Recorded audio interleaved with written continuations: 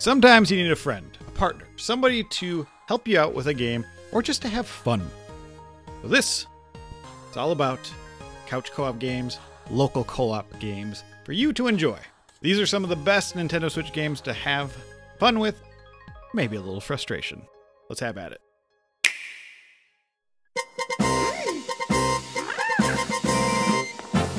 Starting off the list is this little adorable game called Captain Toad Treasure Tracker.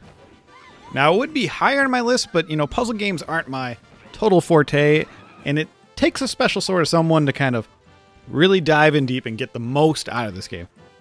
The fiance and I went through this game and we enjoyed it. They really took the concept from 3D World and expanded it enough to feel like this is a game worth playing. I mean, you can't really go wrong with how cute Toad is. You know, some people find him really annoying. I don't see it. I enjoy my time with the good old Toad. And the best part is each character, each player can do exactly what you need to do. There's no one person gets more stuff to do than the other. That's always a blessing in these type of games.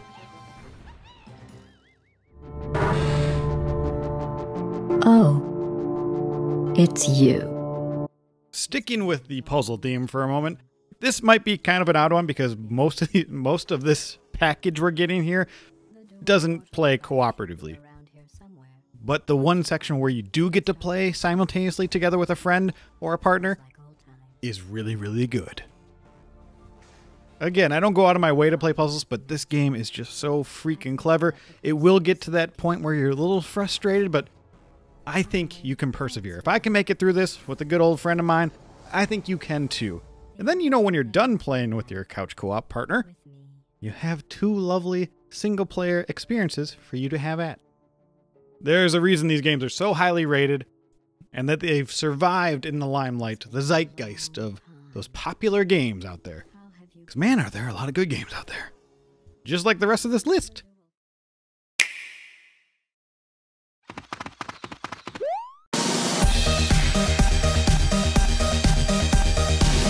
Ah, the art style that everybody got sick of. But you know what? It's still actually a pretty darn good game. New Super Mario Bros. U Deluxe, what a mouthful, but the thing I like about this is it's a Mario game and you get to play it with a friend. Now, is there some frustrations? Yes, because you bounce on each other, you bounce off each other, and that can become a little hectic, but it can also make for some really funny moments. Probably more infuriating than fun, but still, it's there, and I think this is a pretty solid Mario experience overall, and I think you will enjoy it. And I, you know, I still like this art style. I'm not ashamed to say that. Now, I don't think this added too much from the previous new Super Mario games, but I do like the terrain, the boss variety that we have in this one. You, you know, you're fighting the Koopa Kids again. That's always kind of fun. And there's some really cool looking levels in this game. So if you have not, if you've shunned this game because you're like, ah, I'm sick and tired of this, I think you should give it a shot.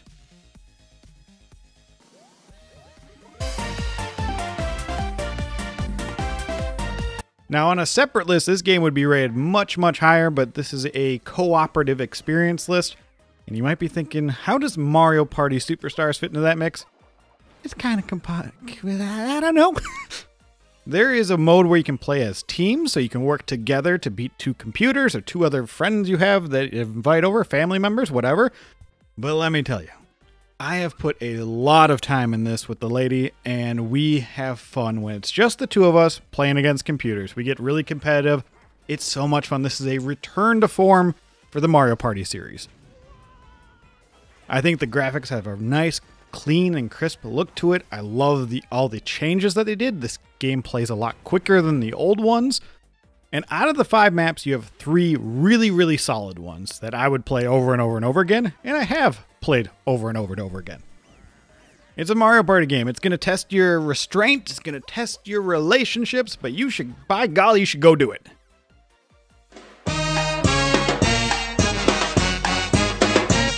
Overcooked 1 and 2 has such a simple concept. You're just going to cook some dishes and serve them. That seems pretty simple, but it, it, gets so wild with the change up of terrain. You'll go through warps, you know, part, you'll be going in an air balloon that's crashing, and you have to, you know, make up your salads, cut your sushi. It builds and builds in this game. if you want to if you want to get all the stars, it is absolutely infuriating, but this will give you a lot of content. Also, I think this game has some of the best DLC. You're just doing more and more of what you have done in the base game, but they are really, really solid, especially the Christmas themed ones or the holiday winter ones. There's something so joyous about preparing hot cocoa. I don't know what it is, but it's lovely.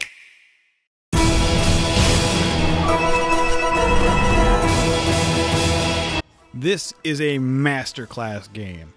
I think it's more fun to play competitively against one another, but Towerfall Ascension does have a pretty solid co op experience. It's such a lovely concept. All you do is jump, dodge, and shoot arrows. But my golly, is it such a fun freaking game.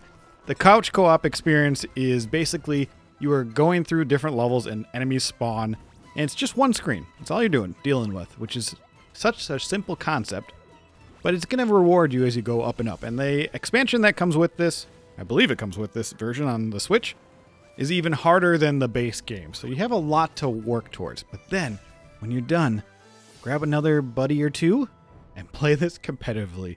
It is some of the most fun you will ever have, I promise.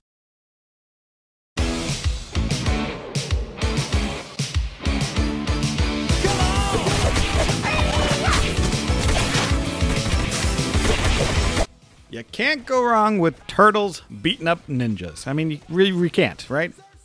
With a killer soundtrack, amazing graphics. I, God, I love this style. We have a return to form with Teenage Mutant Ninja Turtles Shredder's Revenge.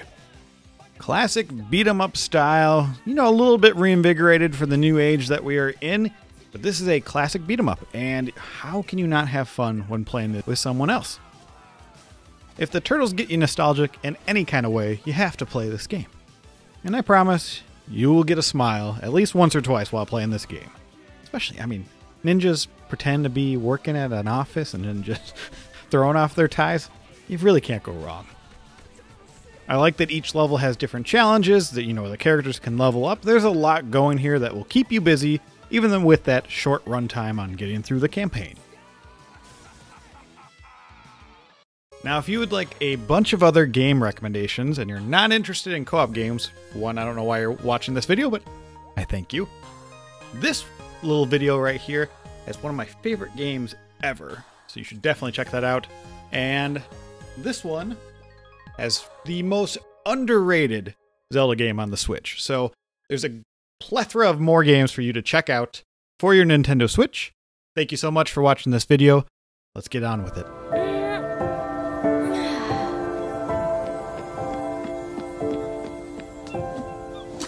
Let's dramatically change the tone and let's be depressed but also fulfilled at the same time.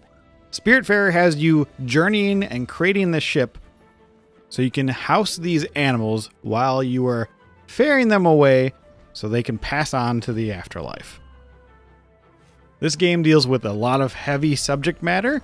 Death is very prevalent, so just be warned going into this. But you can play as the Spiritfarer, and then your couch co op buddy can play as the cat. And the cat can almost do everything that the other person can do. There's some certain things in the beginning where you don't have as much access, so that can be a little tedious. But after that little bumpy period, the cat can do just about anything. A freaking gorgeous art style with a somber OST, but also kind of gives you this good feeling vibes as well. This is a very interesting game with a lot of mini games hidden in, resource management. This game wears a lot of different hats, and I definitely think it's worth your time.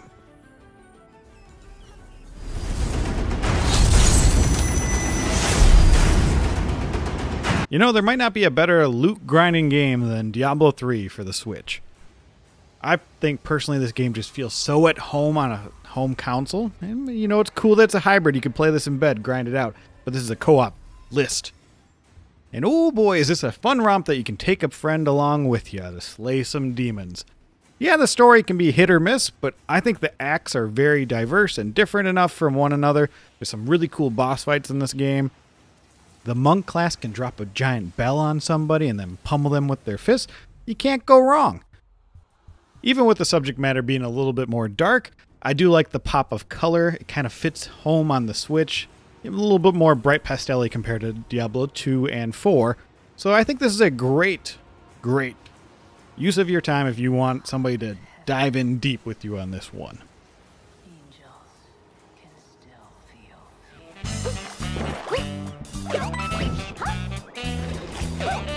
Ooh, is the soundtrack in this game amazing. Super Mario 3D World plus Bowser's Fury is awesome. The Switch has one of the best Wii U games available with extra content. Now I know you get points and crowns for getting the most points in each level, and it kind of makes it a little bit more competitive, but just ignore that and have fun with your friend or friends. You know, four player co op, it can get a little hectic.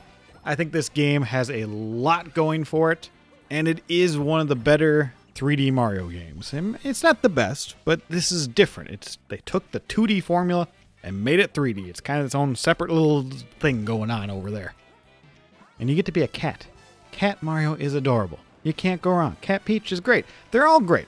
Just be all the cats.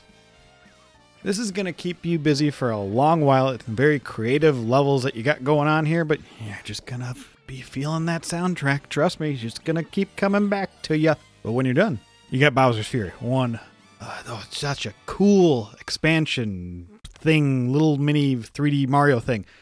It is awesome. It's Mario's first foray into the open world concept, and I think it's really worth playing and checking out just for a little while or 100% complete it like I did because I, boy, did I have a fun time with it. And I can almost guarantee you will too, but my older brother Larry didn't like it, so we have a review on that on our podcast, Bits of Time. Yes, same name as our YouTube channel. We make it simple for you.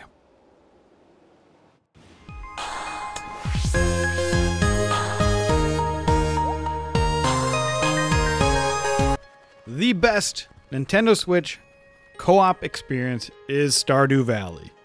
There are a couple reasons why. One, it's pretty simple, but you can do everything that the other player can do. And there is a lot, lot to do in this game. I brushed off Stardew Valley for the longest time because I thought it was a just a farming simulator. And at its core, that's what this game is about. But the beauty of it is when you have somebody else to play it with you, you can branch off and do other things. So what I did is go down the mine. I want to get as far as I can go. I want to get to the bottom. I want to see the change in terrain, the change in the monster variety that I'm fighting. And you can do that. And it feels kind of like an RPG because then I'm going on quests and I'm talking to townsfolk and experiencing their stories, what's happening in their life. And at the same time, I'm playing with somebody else right beside me and we're farming and questing together. I have 100% completed this game. Took me took me uh, like 164 hours if I remember correctly. And I enjoyed most of my time with that. You know, sometimes I push myself a little too hard. Some late night game sessions for the lady and but man, this game is an experience that you need to try out. You've probably written it off or you're probably sick of hearing it, one of the two.